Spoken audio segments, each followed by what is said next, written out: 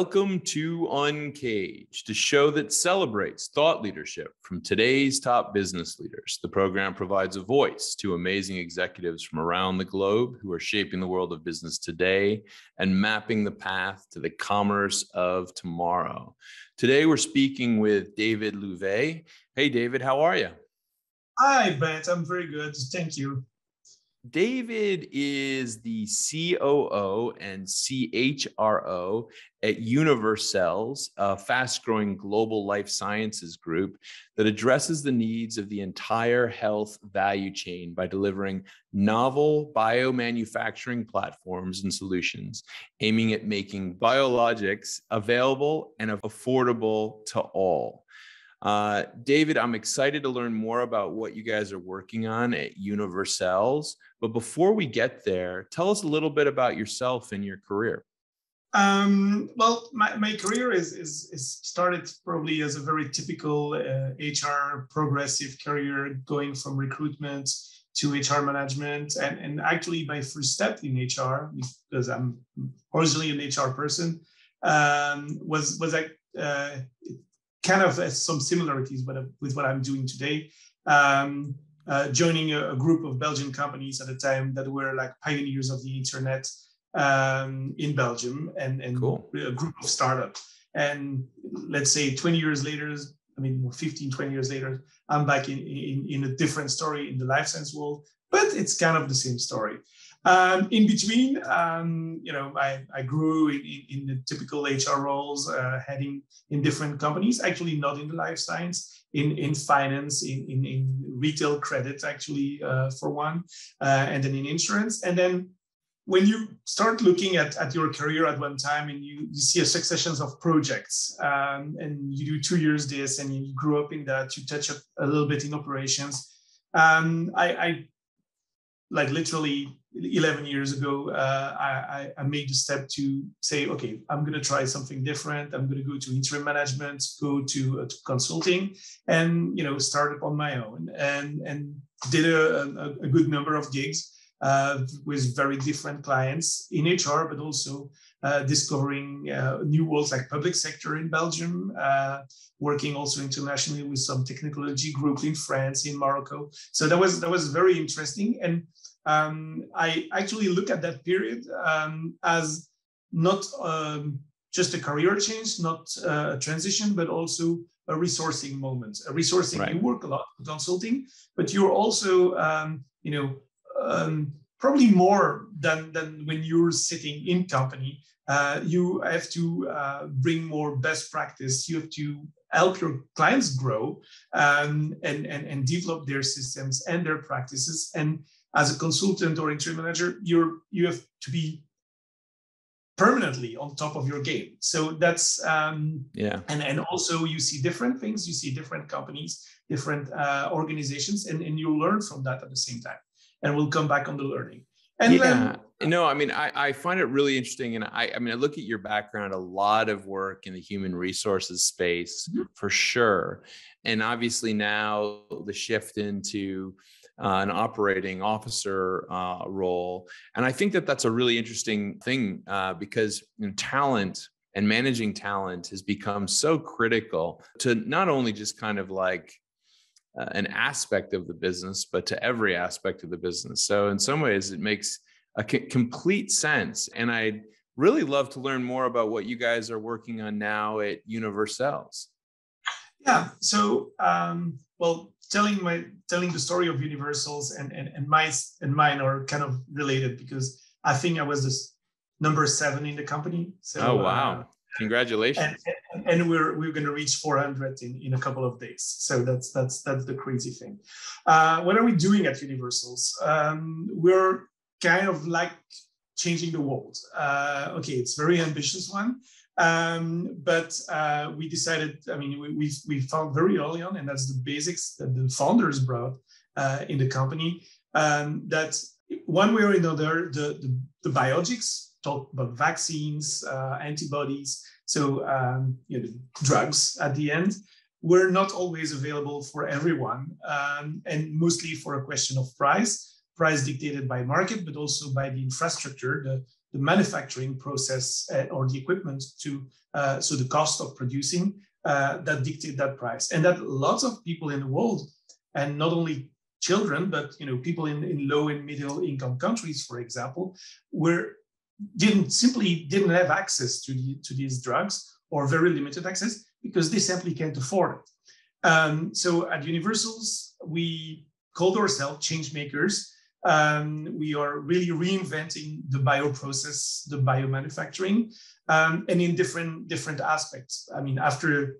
um, seven years uh, of operating uh, the company now with, with, calling operating with employees and and and and, and growing the, the business, we are now developed in a group, like you mentioned originally.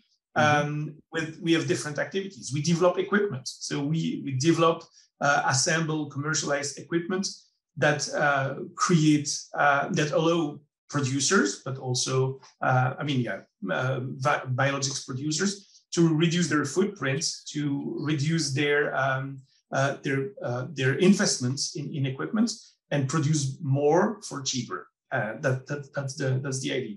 That's great. It sounds like it's I, I can see that it's supported by the Bill and Melinda Gates Foundation and a ton of other groups that uh, I think everyone in the world knows at this point are very active in trying to bring these types of uh, affordable solutions to developing markets. So tell me more about how how the products get to these markets and is everything done there or you know where is this structure? Well, today Univercells is Belgian based uh, mostly. We we we have a couple of colleagues in the US, a couple of ones in in Asia, uh, more mostly for, for commercial purpose. Um, uh, we like to say we are Belgian based, but we don't have customers in Belgium. That's kind of funny. Uh, our customers are all over, all over the world and they're, they're different. I mean, some of our customers as a group are uh, other manuf- I mean, manufacturing uh, businesses that, that manufacture biologics, but we also have customers that come to us to use our facilities. Um, we, we were just finishing setting up a full manufacturing site in Belgium using our technology, obviously. Um, but also, uh, we are developing uh, projects with low and middle income countries to install uh, manufacturing capabilities, for example, in Senegal, to build, to use our experience, what we did in Belgium, and build uh, for customers. That, that could be a government also, that it could be uh, private and public partnership uh, to build uh, these facilities in, uh, in low and middle income countries and design them, build them, operate them, and then transfer. So that's that's, that's what amazing. we do. And yeah, we're. I mean, I was saying, I just said we were only 400 people, but with a global reach today.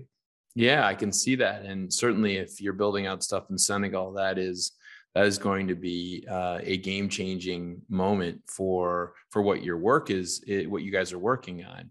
So i mean tell me a little bit more about the impact of Univercells and and what you guys are seeing in the broader market right now for life sciences and where you guys play in that market well, um, you mentioned it. Everybody is looking at affordability today. I was reading, um, you know, the, the, the, COP26 is going on, and I was reading a comment this morning online uh, saying that if we ignore emerging countries, or not actually that emerging countries are there to remind us that in, you know, we need to win all together.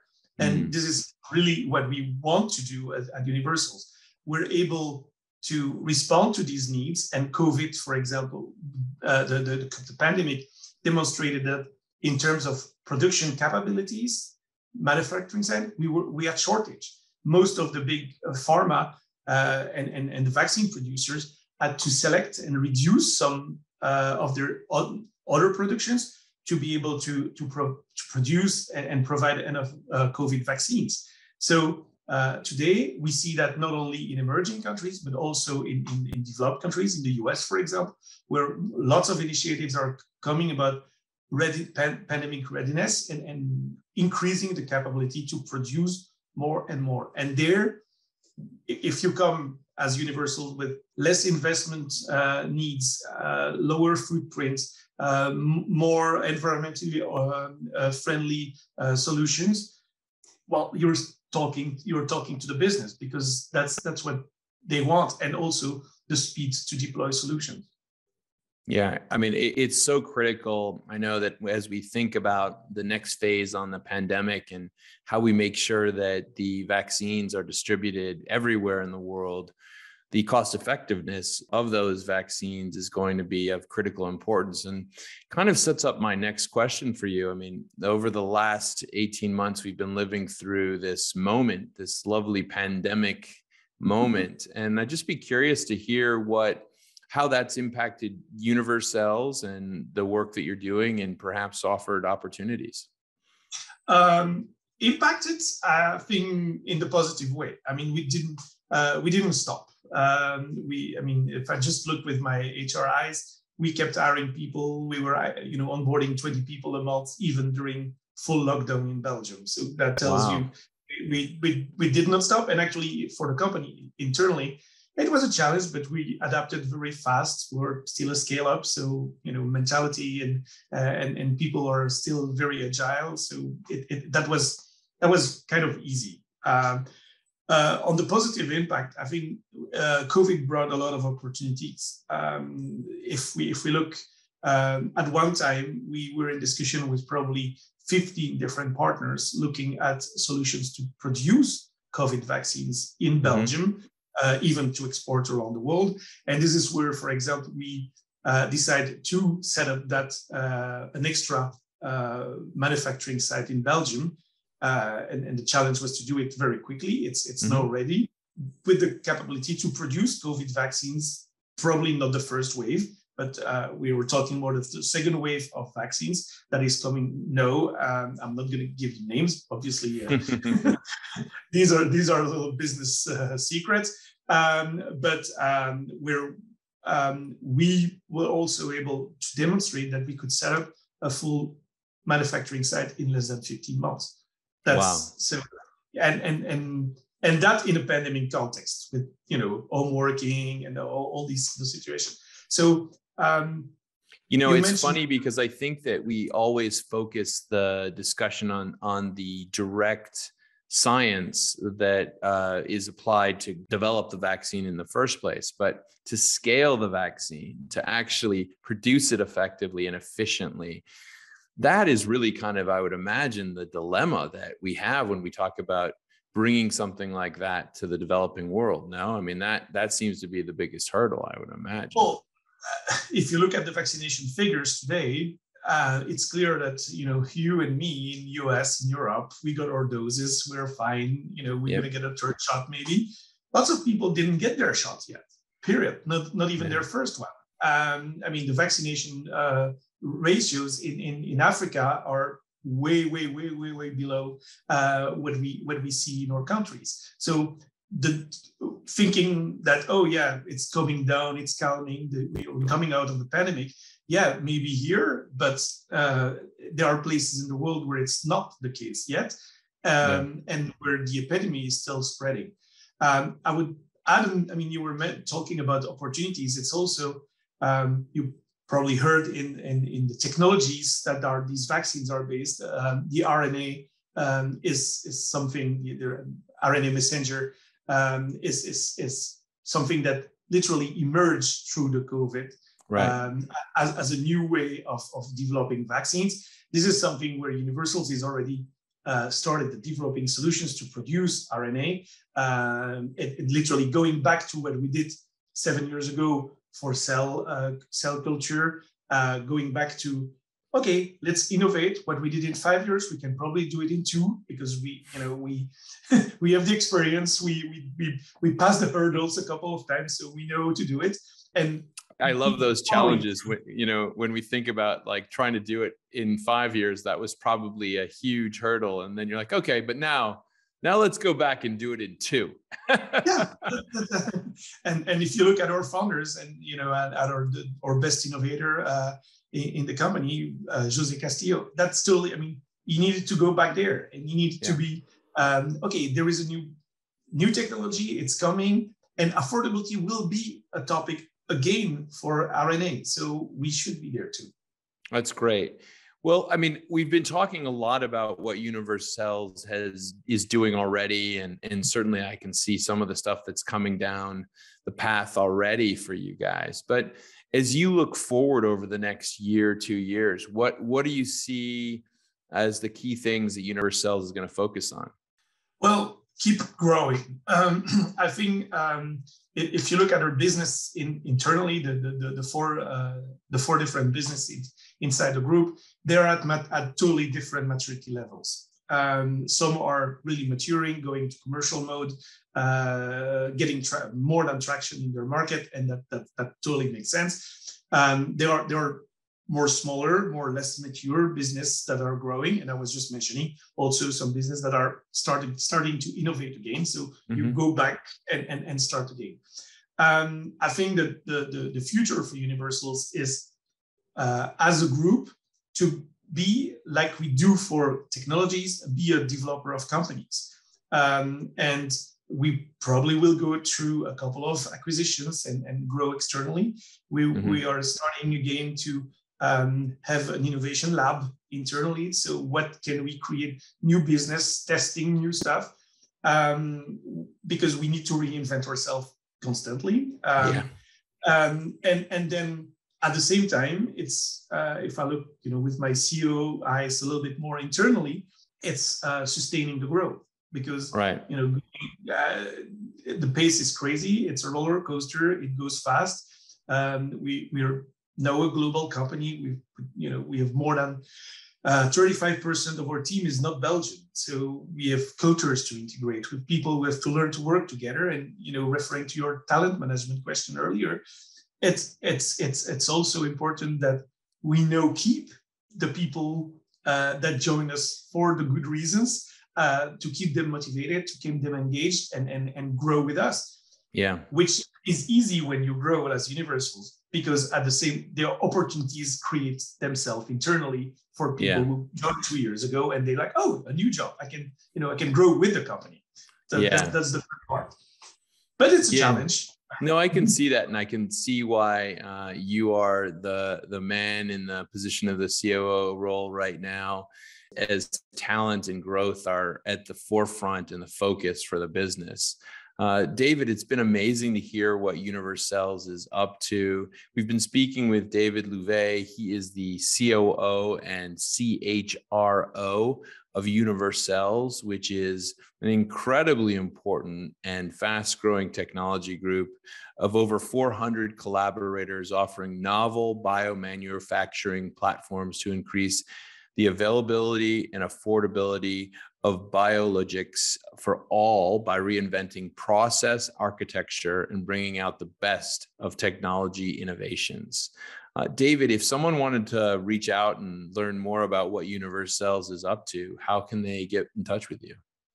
Well, we have a website like everyone, um, but um, they can always, you know, drop us a mail, um, pick right. up the phone, we're there. Um, we are also present in all these, you know, in the conferences. Uh, but a dedicated team is, I mean, we are open to the world. So come knocking the door. That's that's uh, awesome.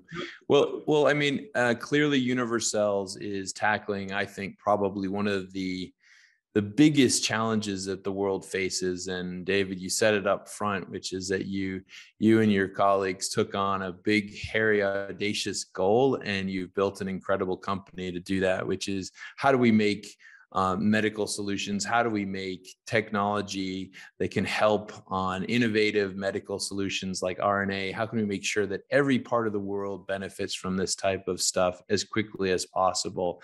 Because as we've learned in this pandemic, anything that happens is global these days. And we need to make sure that uh, we can offer truly international solutions. So thank you so much, David. And I look forward to having you back on Uncaged.